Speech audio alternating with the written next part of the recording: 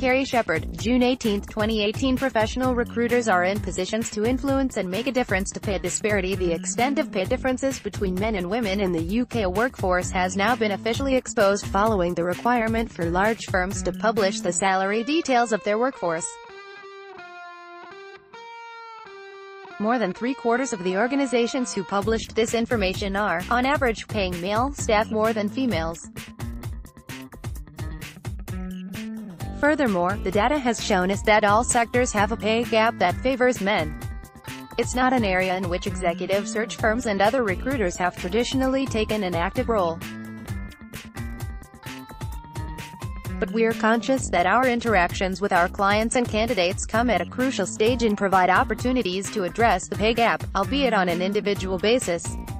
The causes of pay inequality between sexes are multifaceted and complex. It can be argued that every section of society needs to make changes to achieve equality in this area and professional recruiters are no exception. The recently published pay gap data does not tell us whether men and women are being paid differently for the same work, a practice that has been illegal since the 1970 Equal Pay Act, but it does show us that women are disproportionately represented in the lowest paid jobs within companies, in every sector. This can be down to several reasons such as women being more attracted to certain occupations and a greater number of part-time roles being filled by women. But another key aspect, and something that professional recruiters can influence, is that more senior, and therefore higher salaried, roles are currently occupied by men than women. This contributor to the pay gap is largely established during recruitment processes. In our experience fewer female than male candidates apply for senior roles.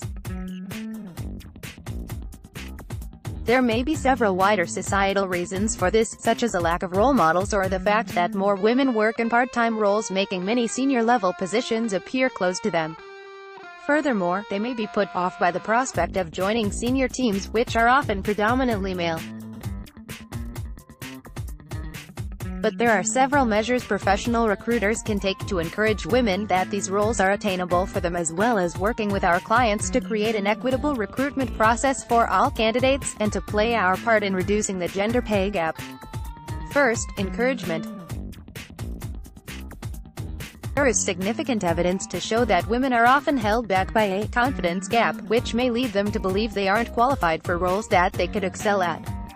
An effective way to increase confidence is making efforts to meet potential future candidates outside of ongoing assignments to discuss their career ambitions and offer guidance and advice in an informal setting. When sharing a job specification for a particular role it is also constructive to remind candidates to focus on the areas in which they have talent and skills rather than being overly concerned about areas where they feel they have less experience. Second, positive action. There is a lot of evidence to show that we hire and recommend people who we see as similar to ourselves. So it's crucial that during the process we make sure we approach a diverse group of people when asking for recommendations. We aim to approach as many women as men during this stage and find that it has a clear effect on the gender balance of our candidate fields. We should question whether 30% is enough.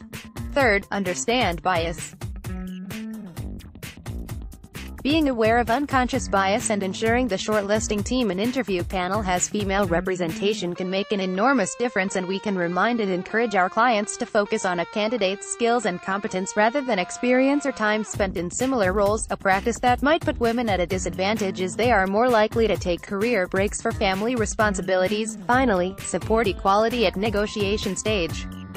We have seen situations where female preferred candidates do not appear to push as hard on salary offers as their male counterparts.